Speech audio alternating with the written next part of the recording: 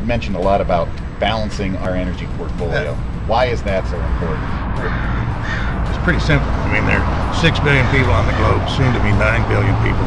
Um, all of the uh, advancements that are associated with uh, people improving their way of life are dependent on the availability of energy.